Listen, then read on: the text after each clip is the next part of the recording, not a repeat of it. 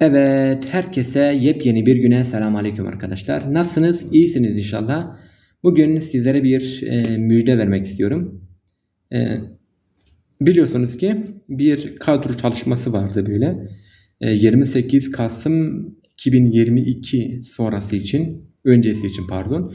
Bütün e, işte 650'de tabi 4B'ler, 4A'lar şeyle falan hepsi sözleşmeliler kısacası sözleşmeliler kadroya geçilecekti ki zaten biz e, işte Ocak ayında dilekçe verdik böyle. Dilekçelerimizi verdik. Bugün sonuç geldi yani bana bugün SMS geldi. Çoğu arkadaşlarımız da gelmişti daha öncesinde ama bana bugün gelmişti. Yani 14 e, Nisan 2023 tarihiyle itibari, itibariyle artık e, sözleşmeliden biz kadroya geçtik. Benim memuriyetten iki, ikinci yerim oluyor. Tam iki yıl işte iki hafta oluyor işte iki yılımı devirdim yani kısacası. Şimdi değinmek istediğim konu Türkiye'de e, gerçekten yani sistemler erken değişebiliyor veya bir seçim geliyor bir bakıyorsun ki e, normalde e, böyle giden bir yol hemen şöyle dönebiliyor. Yıllar önce işte 2020'de ben KPSS sınavına girmiştim. 2021'de de ben işte üniversite hastaneleri alma çıktığında biliyorsun eskiden üniversite hastaneleri çakılı kadro dediğimiz işte süresi sözleşmeliler tabiydi. Her yıl e, sözleşme imzalıyorduk falan filan. Böyle bir e, yani bence saçma bir sistemdi yani. İşte buna bir düzenleme yapıldı ve e, tamamen 28 Kasım 2022 öncesi bütün e, sözleşmeleri tek kalemle kadroya aldılar. Tayin hakları tabi 3 artı 1'e tabiyetle. Bundan sonraki gelen üniversite hastaneleri 3 artı 1'e tabi olacak ve 3 yılın dolduktan sonra e, işte bir yılda aday memur dediğimiz kadroya geçecektir. Ondan sonra geri, geri kalan özlük haklarında almış oluyor oluyor bundan sonra böyledir. İşte o zamanlar çakılı kadro dediğimiz durum vardı. İşte üniversite hastaneleri millet e, vermekten çekiniyordu. Çünkü diyordu ki işte hani ben e, yıllarca hani aynı yerde de işte istemedim kurumda niye çalışayım gibi hususlar vardı. İşte bakın işte ben burada o zaman düşünüyorum ki yani burası Türkiye'dir. Gerçekten hani e, tercih vermek isteyen arkadaşlarım da vardı böyle hani yani ben e, işte hiç tek e, tereddüt etmeden, hiç çekinmeden böyle hani puanlarımı kullandım ve ilk zaten ilk e, şu anda çalışmış olduğum kuruma şey yaptım Atatürk Üniversitesi'ni ve çıkandı. 20 kişi alıyorum. Ben 20. kişinin 20.siyim. Çok şükür Rabbim nasip etti. Demek ki burada nasipleneceğimiz, ekmek yiyebileceğimiz bir yer olacaktı ki Allah nasip etti. Yani o zamanlar daha iş gündemde yoktu. Kadroymuş, şuymuş, buymuş falan hiçbir şey yoktu. Ama ne oldu işte hani bir düzenlemeyle birlikte hani kadro verildi. Şu anda itibariyle artık 4B'den e, 4A'ya geçmiş olduk.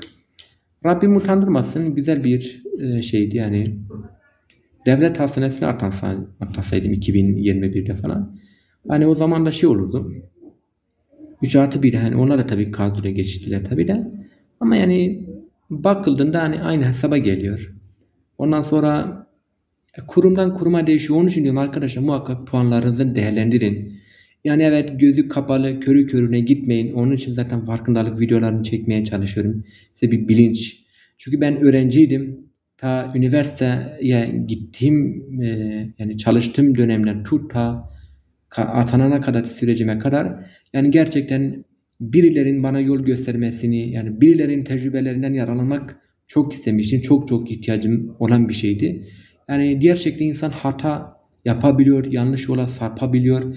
Ama işte e, başkalarının tecrübeleriyle, başkalarının işte e, yapmış olduğu farkındalık videolarıyla gerçekten insanlar yollarını e, değiştirebiliyor ve çünkü zaman çok kısadır. Her şeyi tecrübe edecek kadar zamanımız yok.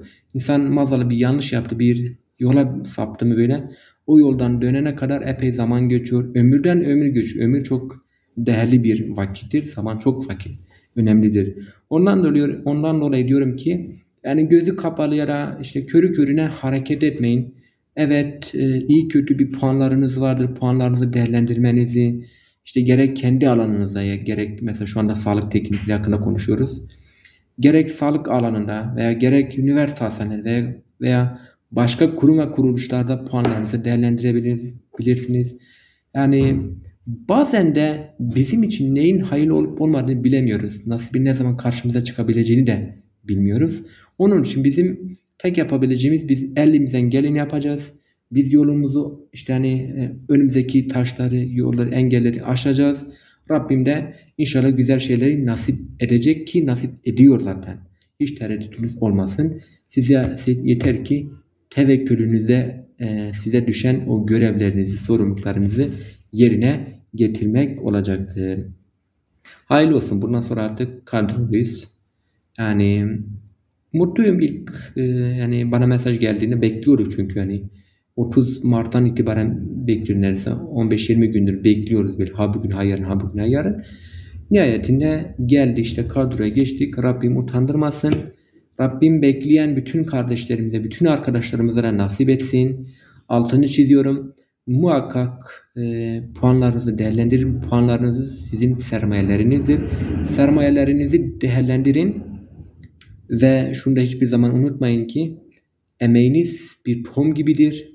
Siz tohumu e, zayi etmediğiniz sürece o tohum zayi olmaz.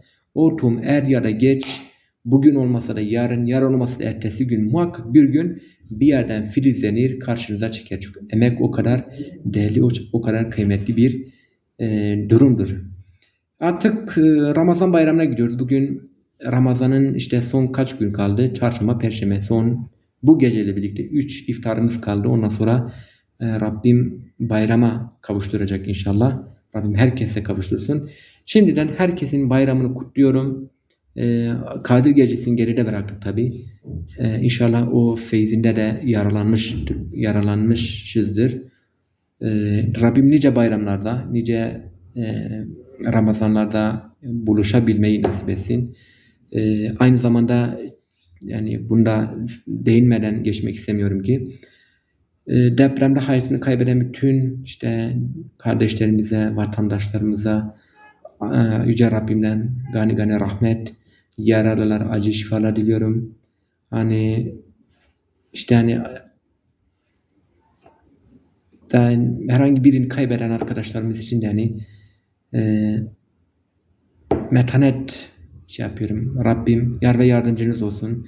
Zor zor bir durum yani.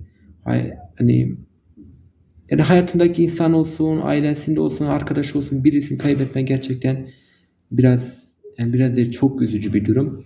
Rabbim bir daha işte hani göstermesin. Evet imtihanlı bir dünyada yaşıyoruz. Bunun bilincinde olarak yaşamalıyız ama yine de işte e, olunca da insan fıtraten gereği bir şey yani üzülmüyor değil. Rabbim bir daha göstermesin diliyorum. Herkese e, bol bol hayırlı, hayırlı bayramlar diliyorum. Bayramınız mübarek olsun. Büyüklerin ellerinden, küçüklerinin gözlerinden öpüyorum inşallah. Allah'a emanet olun. Bayramdan sonra inşallah kavuşacağız. Bir durum bir sıkıntı olmadığı sürece bayramda da video çekebilirim ama emin değilim. Belki çekmeyebilirim. İşlerim var biraz yoğunum. Aynı zamanda çalışıyorum. Rabbim yar ve yardımcınız olsun. Allah'a emanet olun. Sağlıkla kalın. Güle güle kalın inşallah.